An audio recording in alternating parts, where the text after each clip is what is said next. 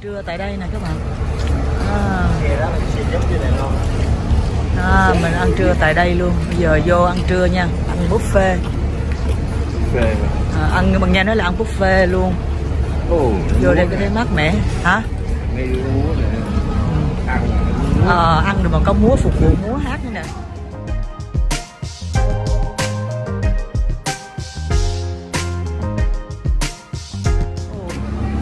Hả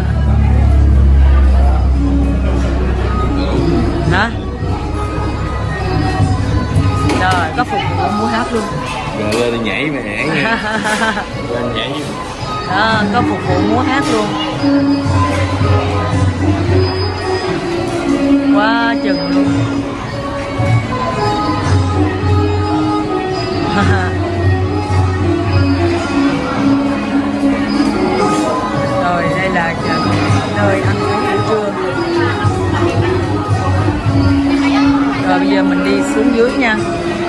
Để ăn trưa.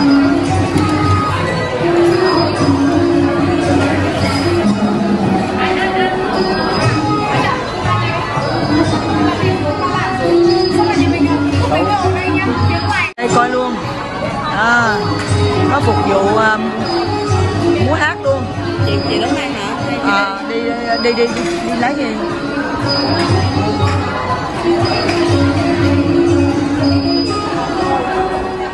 trưa nó rất là nhiều món ngon. Bây giờ mình à, sẽ thử trước một cái dĩa này nhiều món ngon lắm. Lát nữa mình à, sẽ lại review sơ sơ. Rồi mời các bạn cùng ăn trưa nha. Ở cái nhà hàng này cũng ngon lắm. Đây là cá nè. Đây là chân chân vịt chân chân vịt hay chân gà gì đấy không biết. Đây là thịt ram gỏi. Mình, mình thích nhất là món gỏi đu đủ. Cơm rồi thịt. Và đây là hình như là món uh, tôm gì tôm dum. Con tôm dum này nó có hải sản nè anh. Rồi bây giờ mình mời các bạn ăn trưa. Sơ sơ. Các món ăn ở đây nè. À, món um, tôm dum. Không phải là tôm dum thịt canh. Rồi um, đây cũng là cái gì đây nè? Giống như cháo là gì? Giống như là chả ram giống chả ram. Thịt hay là cái gì không biết nữa. Thịt bằm cái gì hải với thịt bằm hay là, hay là trứng. Tôm dum hải sản này là cá. Cá cá giống gì cũng có ớt cái gì Này chín thì trời. Chín rồi trơn cá thịt gà ram chắc vậy. Món gì mà cờ cõi với, với thơm nè. Cái gì cũng cay á. Đây là chân gà chân vịt gì đó. À, không biết làm món gì. Rồi đây là món uh, rau củ cái này chắc là gà gỏi hay sao ạ? À, nhìn hấp dẫn ghê chưa? Gỏi gỏi đu đủ. Cơm không thể thiếu. Hả? À, có cơm. Là gì ta? Nấm hay là gì? Mì xào gì đó. Hấp dẫn quá. Cơm trắng. Đây là cơm trắng. Rồi chắc là mấy món tráng miệng cuối cùng là mấy món tráng miệng. Hấp dẫn ra chưa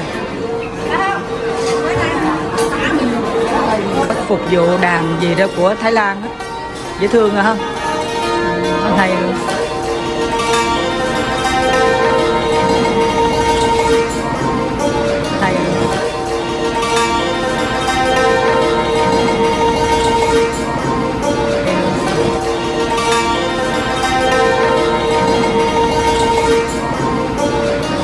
Xong á các bạn cũng là buffet luôn nha. À, cái này là không biết là chắc hủ tiếu hay sao á. À, hủ tiếu nè. À, hủ tiếu ngồi trên bờ sông luôn rất là đẹp ha. Nhìn ừ, hấp dẫn không? Ngon cái chưa? Đây là món hủ tiếu của Thái Lan. Ừ. hai là chuối chiên hay sao á? À, chuối chiên. À, chuối chiên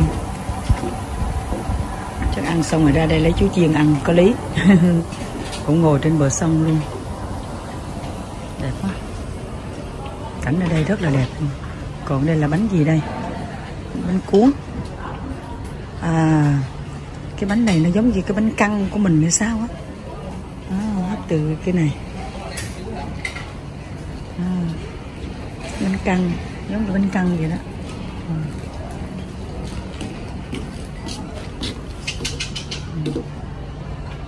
lát nữa mình ăn xong mình sẽ ra đây chụp hình. Mình sẽ lấy dĩa ăn thử. Mình mới lấy vô nè. Tiếu này ở ven sông. Ở ven sông nó chiên chú chiên rồi nó ngon lắm. Thôi bây giờ mình phải ăn đã cho đói bụng quá. Cái món tráng miệng này là chè nè thơm. Cái bánh này giống như là bánh ấy nhưng mà nó ngọt. Được khoai lang chiên hả anh. Hay là chuối sao em thấy cái trái chuối mà. Khoai lang chiên đó. À, giờ tới phiên làm món tráng miệng. À, như có chuối nữa đúng không có chuối thích thế đẹp. À, trái chuối chiên ha ba? À chuối. rồi khi mà thử cái nhà hàng này á thì mình cũng nói sơ là cái nhà hàng này rất là ok luôn cảnh đẹp nè. Mà bây giờ mình cũng không biết tên nhà hàng nào luôn tại mình đi tour á mình không đi tự túc cho nên là có nhiều cái địa danh hoặc là nhà hàng mình không có rõ. Thì à, mình tới đây mình rất là thích vì sau khi ăn xong thì mình đi dạo đây mình để mình quay phim. Nếu mà mình biết gì mình sẽ nói cho các bạn biết luôn. À, bánh này nó bánh có vị ngọt rất là ngon. Nó cái dọc dọc bữa sau mình nãy giờ mình quay á rồi đồ ăn rất là nhiều món.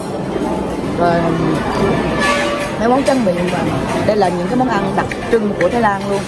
Cho nên rất là ngon và rất là lạ. Ừ. giống như cái cái bánh bánh xèo bánh ấy vậy đó. À, thì mình cũng nói sơ cho các bạn biết nếu cái dịp mà đi à, nếu mà ai đi tự túc thì tới nhà hàng này ăn thử. Còn đi tour thì mình không mình không có chọn lựa được. Ngon lắm. Rất là đặc biệt chè ngon ít thôi nhưng mình ăn cũng rất là ngon luôn ăn hết luôn. Ha. Tụi lào nó đỡ luôn. Dứa Dứa. Dứa là nước ờ, rất là đặc sắc luôn. Nước lọc á. Chè nó có vị thơm của nước dừa tươi đặc trưng. Ngon. Rồi ăn dừa cũng ngon lắm. Ờ để mới ăn ổi luôn Ăn này chứ Ăn này ăn ổi nó không ngọt nhiều đâu ăn được bây giờ ăn xong rồi no nê. Giờ mình sẽ à, nghe nói là mình sẽ rời cái chỗ này để mình đi qua một cái địa điểm khác. Mà trước khi rời cái chỗ này thì mình cũng quay một chút dạo một vòng. Đó hồi nãy giờ mình ăn buffet thì ngoài mà à, cái không ngoài bên cái bên ngoài thì mình còn ra cái bên bên trong rồi mình còn ra cái bên ngoài nữa. Đó hả? À. Chỗ rồi ra xe nhé Để chờ nè. À, đứng được phía phía kia lấy cái cầu không đó. Chụp cho ảnh trước đi. Đó rồi ngoài ngoài là lấy đồ ăn bên ngoài bên trong thì mình còn ra bên ngoài để mình lấy à, những cái món ăn ở đây nữa nè. Người ta ngồi trên chiếc ghe này nè các bạn. Một cái hình thức à, ẩm thực rất là đặc đặc trưng của à, Thái Lan. Đặc biệt lắm. Ừ. rồi. À, mình quay một chút chung quanh rồi biết rồi.